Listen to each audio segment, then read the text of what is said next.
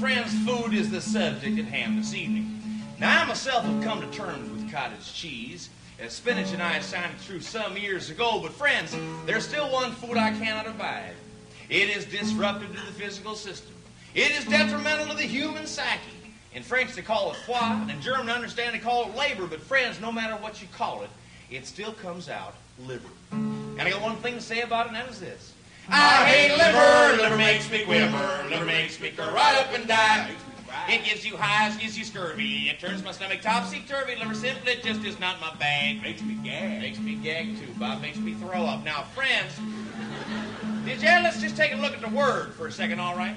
Did you ever realize there are five letters in the word liver? Count them up. That's right, five. Is it any coincidence that's the same number of letters in the word death? The same number of letters in the word hippie, the word drugs, the word Korea. Friends, if you add one more, the word Russia. Just let that sink in for a second. Just think about it for a little while, all right? Is it any wonder that the word is used as a negative epithet of denigrating appellation, denoting that the individual exhibits attributes which are demeaning, dehumanizing, and otherwise atheistic? Like what? Well, there's lily-livered, and liver-lipped, and yellow-livered. How'd you like to be called? Lily-livered, liver-lipped, yellow-liver lover. Boy, don't ever call me that, friends. 'cause I hate liver. Liver makes me quiver. Liver makes me curl right up and down. Makes me cry. Liver, liver, liver. Liver, liver, liver. Liver, liver, liver. Liver, liver, liver. Liver, liver, liver. Liver, liver, liver. Liver, liver, liver. Liver, liver, liver. Liver, liver, liver. Liver, liver, liver. Yeah, but it's so high in protein. High in protein, my friend. Did you know that Dr. Amory of the Cleveland Medical Group tells us liver is the one organ in the corpus of the bovine species that maintains, retains, and otherwise holds back all the MDA, the STP, the DDT, and that's right, friends, the LSD that falls on the ground. But that's fact. Wow. Scientific data, yes, sir, just as true as can be.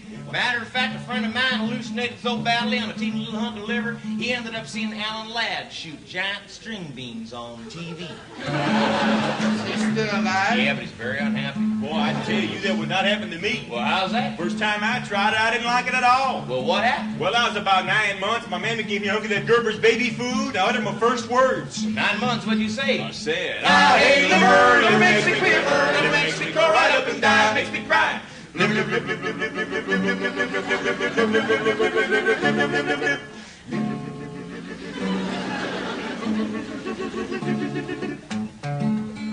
Well, maybe you just haven't had it cooked right. Shh, Come on now. I seen that stuff sauteed. I seen it breaded and broiled and roasted and braised. I seen it poached and pureed. I seen it deviled and diced and sliced and riced and sunny side up over easy fried.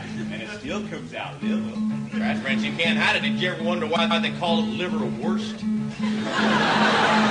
well, now, friends, we haven't convinced you by now, let me describe it for you just one time so you know exactly what we're talking about. Friends, liver is neither solid nor liquid, but merely an amorphous, viscous colloid of putrid protein.